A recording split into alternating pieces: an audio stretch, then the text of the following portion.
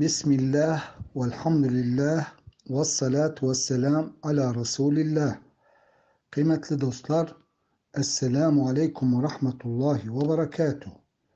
Bugünkü dersimiz bir sorunun cevabıdır.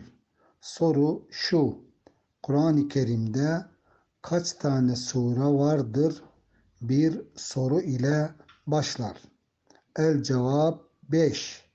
5 tane sure vardır soru ile başlar. Bunların beşi de 30. cüz'tedir. Yani amme cüz'ündedir. Cüz'ü ammededir.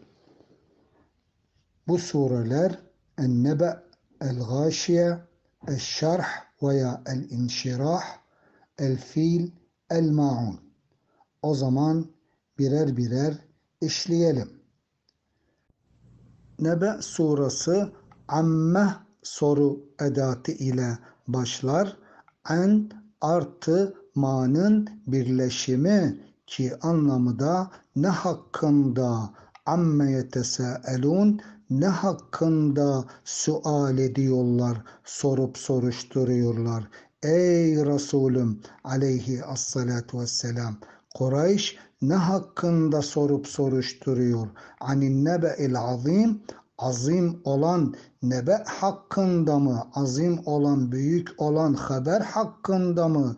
Ki burada tercih olunan kavl en-nebe'il azim el-Kur'an el-Kerim Kur'an-ı Kerim hakkında mı sorup soruşturuyorlar ki onda herhangi bir şüphe, şek olmamasına rağmen ama Kureyş ellezî hum fihi muhtelifun onun hakkında Kur'an-ı Kerim hakkında ihtilaf içindeler. İşte kimisi şiir diyor, kimisi sehr diyor, kimisi kehanet, kimisi asatir el-evvelin, geçmişlerin hikayeleri bunlar hepsi yanlış içindeler ve hepsi günahkardır. Bunu iyicene bilsinler. Onun için kella seya'lemun. Hayır, hepsi yanlış içindeler ve bunu bilecekler. Sonucunu görecekler. Gâşiye surası da hel soru edatıyla başlar ki anlamı da mı mi. Hel etâke hadîthul gâşiye Ey Resulüm aleyhi assalatu vesselam sana geldi mi? Hel etake sana yetişti mi? Hadisu el gâşiye gâşiyenin hadisi, bilgisi, konusu, haberi sana yetişti mi? El gâşiye ismun min esmâi yevmil kıyame kıyamet gününün isimlerinden birisidir. El gâşiye anlamı da kablayan, kapsayan çünkü zorluklarıyla, şiddetleriyle tüm mahlukatı kapsar ve bu günde iki çeşit yüz vardır.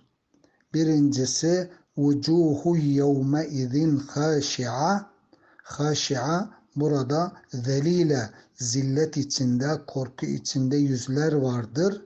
Bir de vucuhu yevme izin Allah'ın nimeti içinde verdiği mutluluk, verdiği sevinç içinde yüzler de vardır bu gâşiye gününde.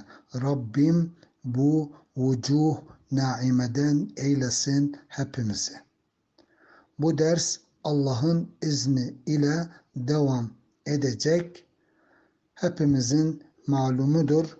Önümüzdeki cuma ertesi de Ramazan'ın biridir. Onun için Rabbim bu mübarek ayı en güzel şekliyle değerlendiren kullarından eylesin Subhanahu ve Teala. Allah'a emanet olun. Vesselamu Aleyküm ve Rahmetullahi ve Berekatuhu.